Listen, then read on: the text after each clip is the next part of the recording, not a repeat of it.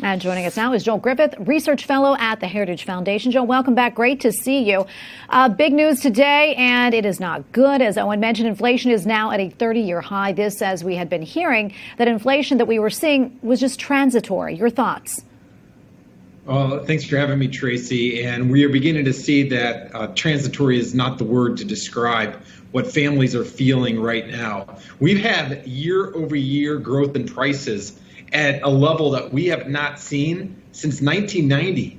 Uh, many of our friends, many of you viewers probably were not even born in 1990. That's how severe this problem is. You're talking about rental costs increasing double digit. It's if you're in California to fill up your minivan can cost up to $150 and even Thanksgiving Day dinners. If you can find a turkey, uh, those dinners are going to be about 8% pricier than they were one year ago. This is a very serious problem, and it's almost laughable when you hear President Biden say he recognizes the problem, he wants to combat it, because his policies are contributing to this spike in prices.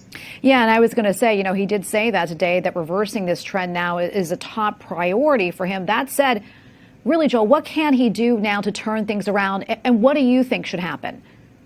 Well, over this past year and a half, government has exacerbated this rise in prices. Even look at the supply chain issue. A lot of us are struggling to find the items that we want on the grocery shelves. Well, what led to that problem? It's not because we're importing massive amounts more of goods or we're transporting massive amounts more. We have seen California, for instance, impose uh, draconian restrictions, social distancing restrictions, COVID restrictions. We have a vaccine mandate. All of these things are actually making it difficult for people in the transit industry. And then you compound that with stricter environmental regulations that get passed down this year in California that are making it very difficult for a lot of truckers to actually operate their rigs. And then you have President Biden's policy of paying people not to work. Many people are able to earn more off the job than on the job, even in, still in places like California. And that has suppressed the amount of labor that's available to actually work in the shipping industry.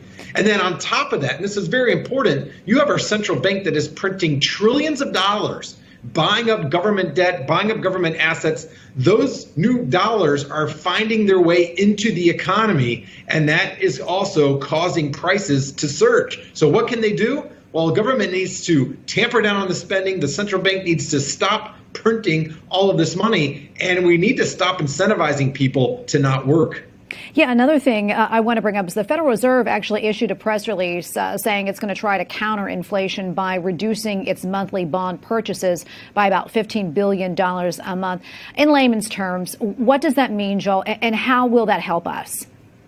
well, over the past year and a half, we have had our central bank digitally print trillions of dollars. And when they print that, digitally. They go ahead and they buy things with it. They buy government debt, which then gets spent. They've bought corporate bonds.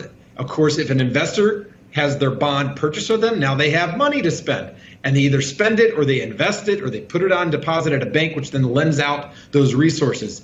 All of that results in our money supply increasing. It's why Milton Friedman once said years ago uh, inflation is everywhere and always a monetary phenomenon, meaning that when you have more dollars chasing relatively the same amount of goods and services, you have prices increasing. So I'm glad to hear the Federal Reserve is suddenly concerned about this, but they're a big part of the problem and the prices of uh, housing, especially increasing. Joel, before I let you go, I want to kind of uh, take a different turn here a little bit. I quickly want to talk about President Biden's uh, controversial pick for the comptroller of currency at the Treasury Department. Uh, I believe her name is Saule Omarova. She's currently a professor right now at Cornell University, but she graduated from Moscow State University. And I understand she did her thesis on Marxism. What more do we know about her and also her chances of being confirmed?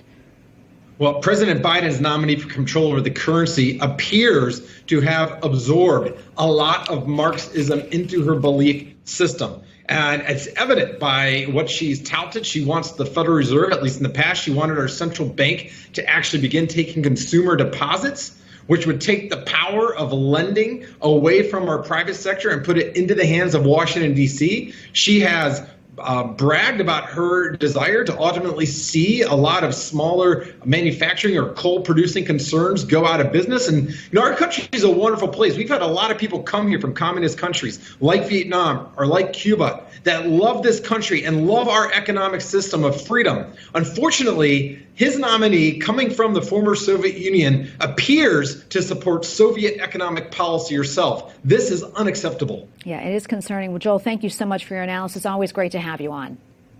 Thanks for having me.